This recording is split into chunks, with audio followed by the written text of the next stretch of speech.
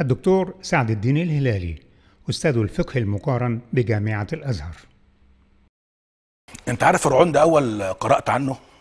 فلقيت آه، الفيروزبادي في كتاب له اسمه بصائر ذوي التمييز في لطائف كتاب العزيز وابن منظور في كتابه المش... الشهير لسان العرب والفيومي في كتابه المصباح المنير.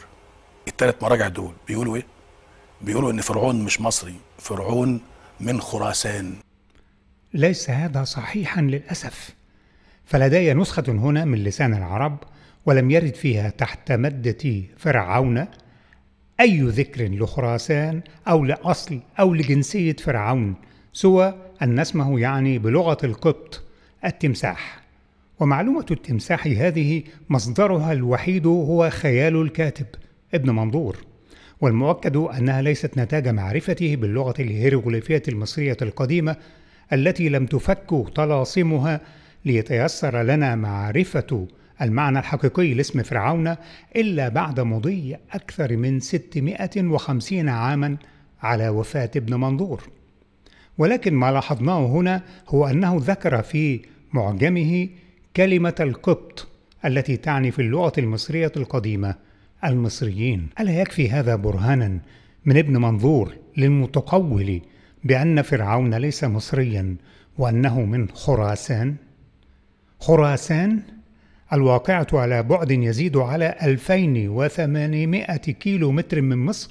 ليس مصريا خراسان. وإحنا بعديها بقى قلنا ده فرعون وفرعون أضاف الهلالي قائلا إن كتاب بصائر ذوي التمييز في لطائف الكتاب العزيز للفيروزبادي يذكر أن فرعون هو اسم لكل من ملك مصر. ملك مصر. وكان كل ملك لمصر يقال له فرعون. تصحيح بسيط. يقول عالم اللغة الهيروغليفية الأشهر ألان جاردينر في كتابه قواعد اللغة المصرية القديمة المنشور في عام 1927 وصدرت منه حتى الآن عشر طبعات. إنه منذ حوالي عام 3150 قبل الميلاد كان أول حكام مصر مينا نارمر مؤسس الأسرة الملكية الأولى بعد قيامه بتوحيد القطرين الشمالي والجنوبي في مملكة واحدة كان يلقب بالملك وكان قصر الملك وديوان الحكم يلقب باسم مزجي من كلمتين بر ع وهما كلمتان قبطيتان. أي مصريتان تعنيان البيت العظيم. واستمر ذلك التقليد لنحو 1798 عاما أي حتى عصر الأسرة الثامنة عشرة بداية المملكة الحديثة التي امتد حكمها بين عامي 1539 إلى عام 1292 قبل الميلاد.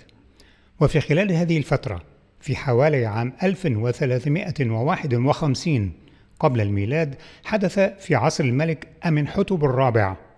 الشهير باسم إخناتون أن بدأ استخدام اسم القصر وديوان الحكم بر ع كلقب للدلالة على شخص الملك نفسه.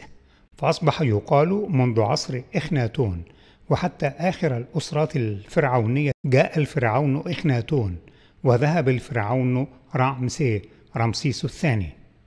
تماما كما كان العثمانيون يطلقون على مقر حكم السلطان العثماني والسلطان نفسه اسما واحدا الباب العالي. فيقال مثلا كتب محمد علي باشا إلى الباب العالي. وفي كتاب الله نقرأ برع معربة إلى فرعون للدلالة على حاكم مصري محدد. ولكن هذه قصة أخرى سأفصلها في وقت قريب إن شاء الله.